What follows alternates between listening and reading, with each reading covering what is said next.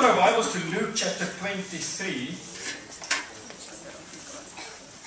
While you turn there, it's, uh, it's interesting. My, my kids went through one or two phases uh, where they, they, they started speaking to us in movie quotes. You know, we would be talking and they would say something, and I'm like, what was that? And then I, after a while I figured out, oh, they're actually quoting lines from movies, from films. And uh, it seems like people like movie quotes. It's uh, quite a popular thing. So uh, I thought I'll do a little quiz here and see see how our uh, movie knowledge is. So is okay. So uh, Snow White, who's that there? Pardon? mirror, mirror against the wall. Is that what? On the wall, mirror, mirror that's what that's what that's what everybody tends to say. But actually, if you go and look at the movie, it is magic mirror on the wall. But it's funny how people just sort of change it, you know? It's like, oh, that doesn't sound so great. It sounds better if we say mirror, mirror on the wall. so, good try, but uh, uh, all of us are wrong, including myself. So here's another another famous uh, one. What does Darth Vader tell uh, Luke during that awkward family moment? I am your father. Oh, sorry, what does he say?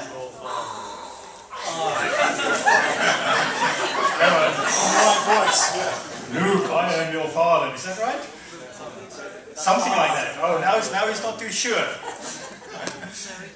He says, No, I am your father. doesn't say, Luke, I am your father. He's responding to Luke that said, You killed my father. And then he says, No, I am your father. So, so much sense now.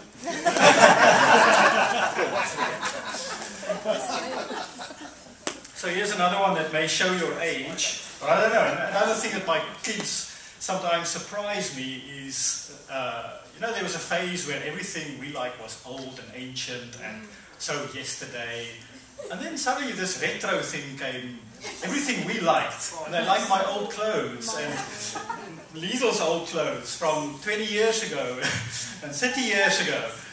And uh, so they started liking our music. I'm thinking, what's wrong with today's teenagers? and uh, so maybe, maybe you know this movie, Dirty Harry. Who knows Dirty Harry? Yes. Yeah. So what's that? Okay, so what's the what's one of the quotes from Dirty Harry? Go ahead, Make my day. Go ahead, make my day. What's another one? I'll be back. Yeah, that, that, that dirty, no, not that dirty. Not that. Is it that one? Do you feel lucky, punk? That's what most people, that's sort of the common one. It says, oh yeah, do you feel lucky, punk? Actually, that's not the full quote. He says, you've got to so- ask yourself one question. Do I feel lucky? Well, do you, punk? so, uh, I don't want to insult everybody, but I thought I'll abbreviate that slightly for the title of today's sermon and uh, just reduce it back to ask yourself, do I feel lucky? And you can add the punk bit yourself if you, if you feel like it. I don't see any punks here today, so just ask yourself, do I feel lucky? I regularly get an email telling me how lucky I am. My name has been referred by some trustworthy person uh, about some rich guy in Africa who died. And now his wife needs my help to move some hidden millions out of Africa. I'm like, wow, how lucky can I be to get an email like that? If only I had the time to actually respond to it and do all the you know paperwork and send the money and but actually, you know, every time I get a mail like that, I think that's not as unreasonable as you think. You know, we spent uh, eight years in Namibia, and uh, Namibia is in Africa for those who don't know. Uh, and it's a typical African country. And uh, that was eight, six plus two, eight years ago that we left Namibia. And uh, I have some funds there, which uh, I had my own business. I was doing freelance consulting while uh, while leading the church there. And eight years later, I still can't get my money out of the country.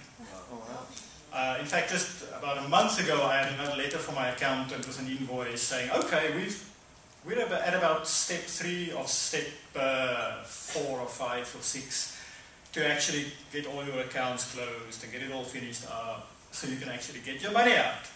So I can understand that it's hard to get money out of Africa. I've experienced it myself. So I get a mail like that and I think, oh, I'm lucky. Sometimes life happens. Life happens to us. You know, unexpected events disrupt life or interrupt our lives even.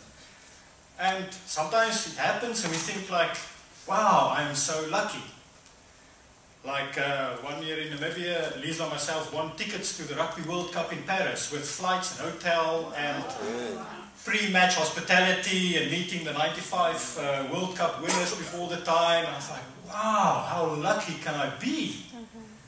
And then there was another time where we were living in Amsterdam. We bought some airline tickets to go and visit family in South Africa through an airline called Al Afrika from uh, Libya. And about two weeks before we were about to fly, all uh, civil war broke out in Libya. They bombed the place, the airline shut down, and we lost our tickets and our money. And we feel like, man, how unlucky can I be? I mean, these things happen. Life happens, and then we sort of tend to think I am lucky or I'm unlucky. So we're going to just have a look at some events around the crucifixion today and ask about some of these people. Is he a lucky guy? Or maybe not. We'll start off with, in Luke 23, verse 26, with uh, Simon of Cyrene. Luke 23, verse 26 says, As the soldiers led him away, they seized Simon from Cyrene, who was on his way in from the country, and put the cross on him and made him carry it behind Jesus. Here's this guy, Simon of Cyrene, in Jerusalem. He's from Africa, also from modern day uh, Tripoli in Libya. He was just visiting, he was just passing by. And he was just happened to be in the wrong place, in the wrong time. And they say, You come and carry this man's cross. I can just imagine him like, No, no, sorry, you've got the wrong guy. I'm not from here, I'm just visiting. It's a bit like sometimes when I evangelize in London, people say, Oh, no, no, sorry, no, thank you, I'm not from here. I'm just visiting. And he was just in the wrong place in the wrong time. And could think like, oh, poor Simon of Cyrene, what an unlucky guy. Just pulled him, roped him, say, you're going to carry his cross. And imagine what he was thinking. You know, am I going to get crucified as well? How is this going to end? You end up in a situation like that and you're not sure. Oh man, this is not my lucky day. In uh, 1994, I was working in Johannesburg, in South Africa, and it was at the time of transition and, and the ele democratic elections after Mandela was released. April 94 was the elections. During this time, even though there was a transition from white minority rule to, to a true democracy, uh, what some people may not know, or maybe they are aware, is that there was also a lot of infighting between the, the African political parties and even African tribes. Suddenly there was this vacuum, this new power, and everybody's like, okay, who's going to get the power? And especially uh, between some of the main parties, which were very ethnic, ethnically delineated, uh, Inkatha Freedom Party, which was mostly Zulus, and a large part of the ANC, which was uh, Xhosa and some other tribes, it became almost like tribal warfare. So I went out for lunch one day uh, in Johannesburg, and uh, I bought my lunch, and as I was walking back to the office, I turned the corner, and down the street came like a whole army, hundreds, maybe even a few thousand, of these uh, traditional Zulu warriors, all dressed up in their uh, traditional clothes with assegais. Assegai is like a short stabbing spear, and shields, and pangas, and machetes, and they were dancing and shouting. And I thought, okay, let me get out of here. And I went back the way I came around the corner. And as I turned that corner, there was another crowd from another group coming down that street. Also toy-toying and dancing with their spears. And I was like, okay, there's going to be trouble here. And you think like, oh my goodness, this is not my lucky day. Lives get interrupted, disrupted. This is like what happened with uh, Simon of Cyrene. We think like, what an unlucky guy. We could think, unlucky, bad coincidence. What do you think? Was he lucky or was he unlucky? Well, seems like he was unlucky, but if we really think about, we don't know where, the, where his story ends. It doesn't say. But these things are in there for a reason. It's written in the Bible. I think he actually ended up seeing the crucifixion of Christ because he carried his cross all the way to Golgotha, Right. where probably he saw Jesus being nailed to the cross, hoisted up. This man that he didn't know, seeing him on the cross, saying some profound things, seeing him taking care of his mother from the cross while he was in agony, seeing the way he died, the earthquake, the darkness, seeing all of that. And what seemed possibly to have been an unlucky day, maybe even witnessed the resurrection after that. We do suspect, historians suspect, that his two sons, Alexander and Rufus, became Christians when he went, when he went back. They mentioned in the Bible in Mark 15 and uh, verse 21, I've got it up there. It says, A certain man from Cyrene, Simon, the father of Alexander and Rufus. Why, why are they mentioned there?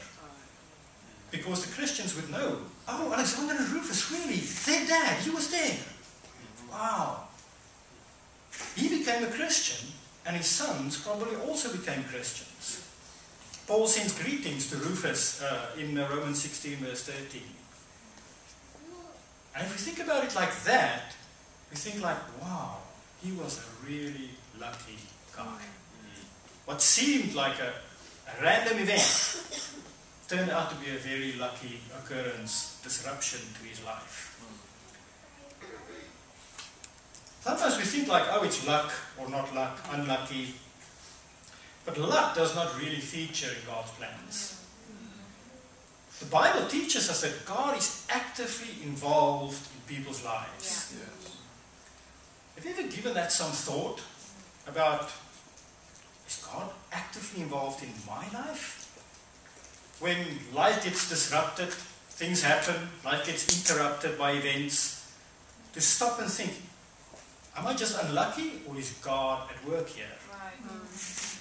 Or we think, ah, what a coincidence. That word coincidence I've scrapped out of my dictionary. There are no coincidences. There are only God incidences. Because God is always at work. And sometimes we get pulled into situations like Simon of Cyrene that has nothing to do with us. And we think like, why is this happening? Why am I carrying a cross now? Someone else's cross. It may be someone in your family. Someone who falls sick and you have to suddenly take care of them. Maybe someone in the church that needs help. Maybe some random stranger that asks you for something. And think like, why am I getting pulled into this? I didn't ask for this. But if we stop and think, not, oh, am I lucky or unlucky, but is God at work here? It changes our perspective on these God incidences that happens in life. And we don't have to wonder where God is, but realize that all the time God is there working for our good. And I know I sometimes, when things don't go my way, I, I struggle with entitlement. Uh, it's I grumble, I complain. It's like no, no, no, no. This is not the way it's supposed to be. Uh, someone said it seems everybody's mathematicians or engineers or something up here. I'm an engineer as well. I like things organized, planned, you know, and make to make things work. And with God, it doesn't always work that way. But I, you know, I like I start grumbling and complaining when things don't go my way, the way I intended or hoped for it to work out. Do you question God when that happens? You think, why? Why God? Why this? Why that? Why am I so unlucky? I found it's really helpful for myself to take a step back and say, okay, God is clearly at work here in my life. And maybe I'm lucky. Maybe I just need to see the end of this story to realize how lucky I am.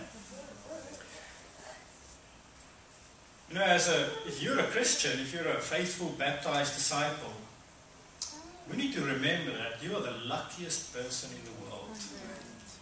To just imagine that, wow, God has forgiven my sins, He's given me eternal life. How lucky is that? And I did nothing for that, did nothing to deserve it. Are there some, do we have teens here? Are there teens in the service? Yeah. There's some teens here. Uh, you know, teens, you guys probably grow up in, in church with your parents, and you know, you come to church with your parents. And uh, know, I grew up in church with my parents, and I thought, I sometimes I hated it. I think, why do I have to go to church every Sunday? And, and I never realized how lucky I was. How lucky I was to have a foundation of faith. How lucky I was to, to, to get to know and trust the Bible. How lucky I was to have Christian parents who loved each other, who were devoted to each other, who really wanted to make their marriage work, who wanted us to grow, me and my brothers, to, to grow up in a functional family where we are loved, we cared for. I was listening to a debate last night on the radio about the whole thing about civil partnerships and should uh, couples who, who just want to live together, who are not religious at all, should they even get married or have a contract and, and so on. And the statistics were horrendous. Parents who, who actually get married into a civil, any kind of contract, marriage situation, uh, something like 85% of, of kids who reach the age of 16 still have their parents together. Kids who grow up in a household where there's no marriage, there's just cohabitation, less than 2% of them reach the age of 16 with their parents still together. The statistics, that is UK. It's in the UK. It was, it's just shocking. And, you know, as teens, you guys should realize how lucky you are to grow up in a Christian household. We had a, last night a, a, young man knocked on our door. He's selling stuff door to door. He's, uh, he's in a youth rehabilitation program. He's 20 years old. He just came out of jail. And they gave him this opportunity to, to rebuild his life, to get some skills, to get some references. So he's selling stuff uh, to get some money, to pay for his accommodation, food, and to pay for this 16-week uh, program. So I talked to him. It's like, what went wrong? He said, yeah, well, his dad was uh, on drugs. That was all he knew his whole life. And then his dad died, and all that he knew was, oh, well, that's how I can make some money. And he got into drugs, and eventually they caught him. And when he was 18, he went to jail for two years. I'm so sad that he's 20 and his life is already a mess. And to a large extent because of the household that he grew up in. You could say, well, he was just unlucky. But if you grow up in a functional household, just remember how lucky you are. You know, if you're not a disciple yet and you're uh, guest today, you may think, why am I here today? It may be your lucky day today. This may be your chance to say, you know what, let me make a decision to also become one of the luckiest people alive. To get to know Christ. To have my sins forgiven. To inherit eternal life. To, to get that incredible gift of God. And then you will be a very lucky person. There were some other people around the cross, the Roman soldiers. We carry on in Luke 23, verse 32. It says, Two other men, both criminals, were also led out with him to be executed. When they came to the place called the skull, they crucified him there along with the criminals, one on his right, the other on his left. Jesus said, Father, forgive them, for they do not know what they are doing. And they divided up his clothes by casting lots. The people stood watching, and the rulers even sneered at him. They said, He saved others. Let him save himself if he is God's Messiah, the chosen one. The soldiers also came up and mocked him. They offered him wine vinegar and said, If you are the king of the Jews, save yourself. There was a written notice above him which read, This is the King of the Jews. So, how about these Roman soldiers? They had to ask himself, Am I lucky? Am I lucky today? Well, at least one of them were hoping to be lucky because they were gambling for Jesus' clothes. And of the four of them, one's like, oh man, I hope I'm the lucky one today. And uh, they paid no regards to this guy on the cross who's like, oh, this is the king of the Jews. Uh, they even mocked him, they teased him, and, and they sort of worshipped him. But it wasn't real worship, it was just a joke. Their worship was more like in, oh, what can I get out of this? Maybe I can get the garment. So they worshipped him from that kind of uh, perspective. It was very superficial worship. You know, we, we see that kind of worship around us even today where people don't even realize they sort of mockingly, just in the way they, they, they, they speak, they say, say things like, oh my God, Jesus Christ. I used to, uh, you know, even as, as a coach, I used to have a boss who was an atheist. And I used to tease him every time he said, Jesus Christ. I said, Oh, I thought you were an atheist. and he says, Oh my God. I said, Who's this God? I thought you don't believe in God.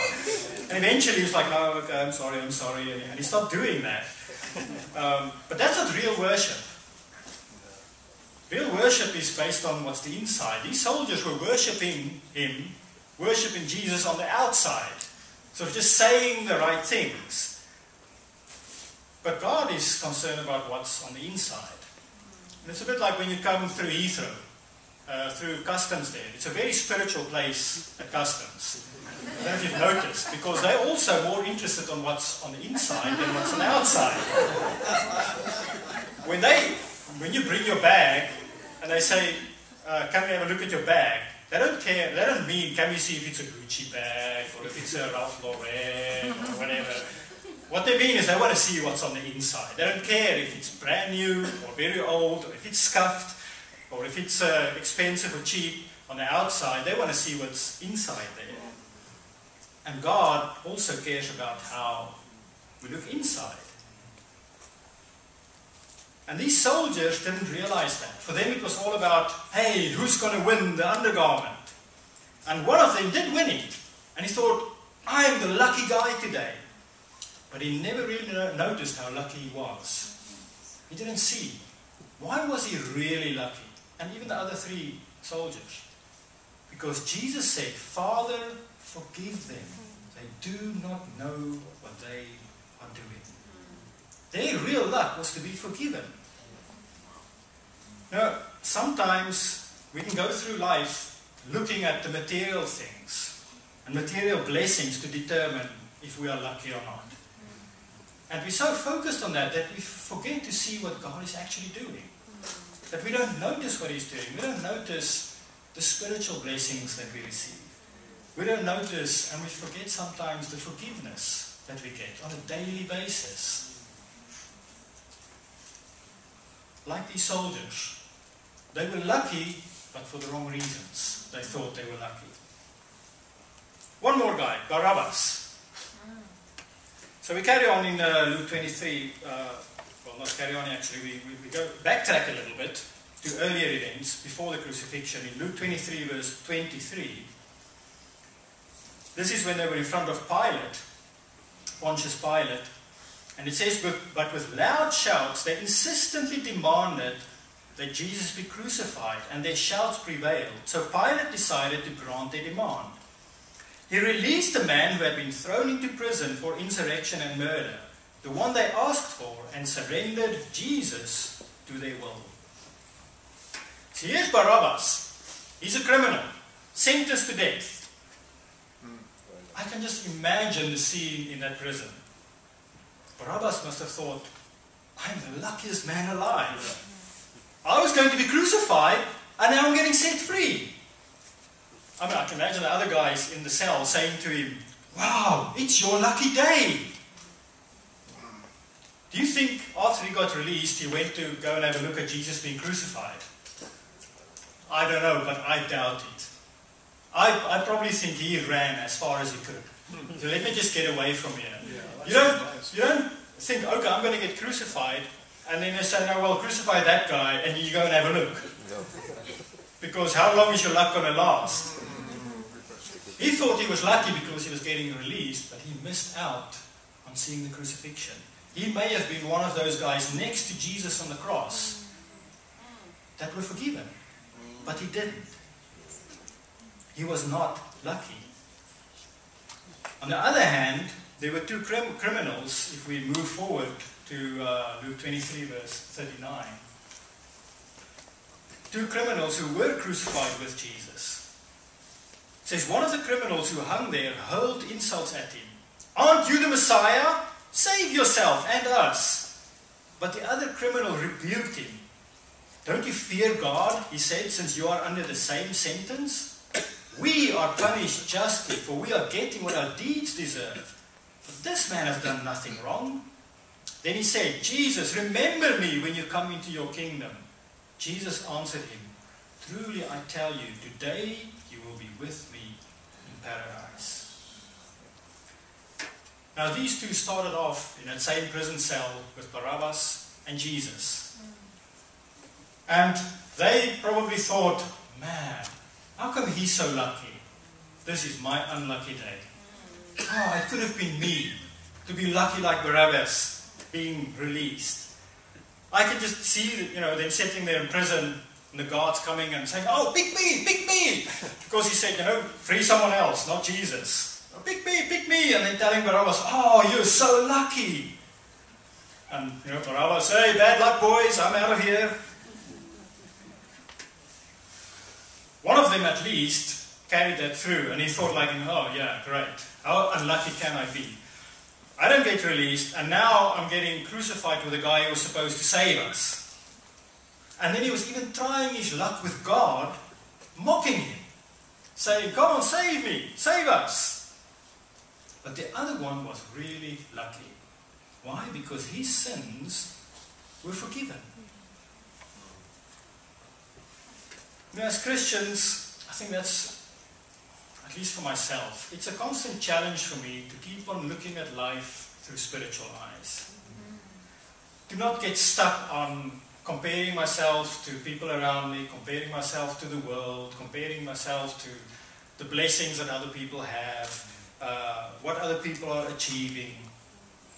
And to remind myself that in Christ, I am the luckiest person alive. And once we realize that, it changes your life. Because then you can start living a lucky life. You can start living a life where you realize, wow, you know what, all these things, they don't matter. Because in the area where it really matters, I've been so lucky. And you start counting your blessings. You start counting the blessing of having a wonderful wife. 28 years, we're still together, we still love each other. Having great kids. You know, as parents, sometimes, if you have teenagers, sometimes, you know, my teenagers are like other parents with teenagers. Maybe you're not all like that. I don't want to generalize, but they can sometimes, you know, drive you crazy, drive you up the walls. And then sometimes Lisa and myself, we, we talk to other parents who are not Christians, and they're like, oh man, I don't know where my son is, I haven't seen him, you know, I don't know what time he comes back at night, uh, you know, and when he comes home drunk, is this and that. It's like, wow, you know what? We have great kids. We're so lucky to have kids who have principles and values, and they want to come home, they want to be with us. If we start looking through spiritual eyes, we realize how lucky we are. We looked at some men who had some good stories to tell, going through some tough situations in their lives. And sometimes you may feel like this. I think, oh man, I'm so unlucky. God, why is this happening to me? Remember, in Romans says, we know that in all things God works for the good of those who love Him. In other words, in all things you are lucky if you're a Christian. Whatever happens to you. It may not feel like it to you, but God is always working in your life. And we just need to take a step back and reflect.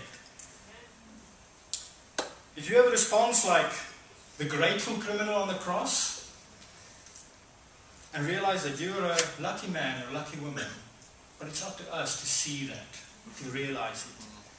So let me remind you, ask yourself one question, and I hope you get the right answer. Do I feel lucky?